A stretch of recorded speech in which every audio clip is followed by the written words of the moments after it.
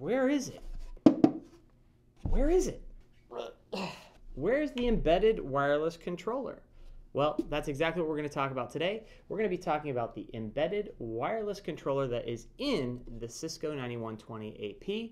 I'm Sean Barr with LookingPoint, and we help IT organizations make decisions around networking, security, and cloud. Let's go!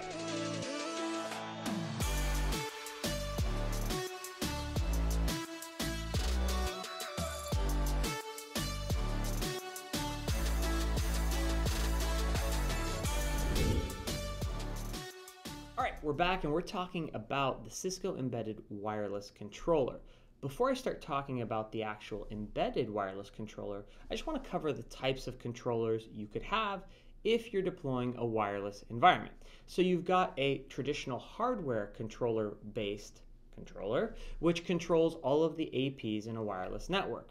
You've also got a virtual controller that you could run on a cloud environment or you could run in a virtual environment like VMware, those types of things where you could run a, a controller as a virtual instance.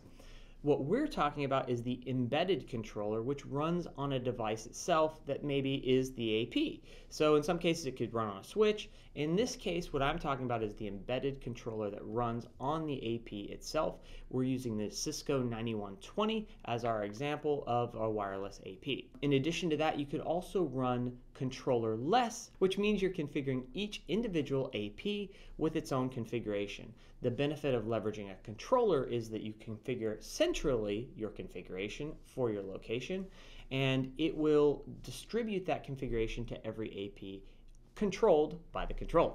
So that was a lot of words. Let's jump into the actual controller itself. So what I have on my screen is the embedded wireless controller, which is running on this Cisco AP. Um, now, under configuration, you have the ability to configure all of your wireless networks, the security associated with it. You could configure splash pages for guest access. In addition to that, we have administrative configuration, which is configuring the controller itself. So I could, for example, click on a command line interface. I could type in show run, and I could run that command, and it's going to give me the output of that command in the command window. Um, in addition to that, I could configure the actual device. Uh, you know, what's the name of our embedded wireless controller? Um, do I have any FTP, SFTP settings that I want to use for loading images? Um, in addition to that, I have uh, DHCP pools, DNS, uh, management control. That's like how am I going to manage the, the actual controller, HTTPS? Uh, am I going to allow SSH to it? Those types of things. NetConf is, is mentioned in here, which is for automation. Um, and then logging. Am I going to send these logs to, to like a syslog server? Um, software management, um, I, I, may have misspoke about the TFTP. I was thinking about loading images to the embedded controller, but this is actually for the APs themselves. So you have the ability to load uh, as many images as the memory on the associated AP running the controller software can handle. In our case, I think we can get one image for the 9120s. If you want to store multiple images, you could put in a reference a TFTP server where the APs could download additional images so that you could manage all of your firmware management for all the APs registered to the controller. So that's what this section is. And then uh, underneath time, that's you know referencing an NTP server so that it gets the correct time as your APs may need to log things and all of those those types of things. Um, under configuration, uh, one of the things that you can do is see all of the access points that are registered to the controller. In our case, we only have one AP registered to the controller, but you can see that uh, you know it's got some statuses here. It's up. It's got an IP address, the MAC address for the radio, the MAC address for the Ethernet, um, Ethernet connection. And if I click on the actual AP, I've got some ability here to type in a location name. I can rename the AP. I can do things like, you know, if you had an AP in an area that maybe you didn't want that blinky light showing or the light showing at all, you could disable the lights, you know, on this configuration. There's interface configuration, so if you had VLANs and things like that, you could cover that.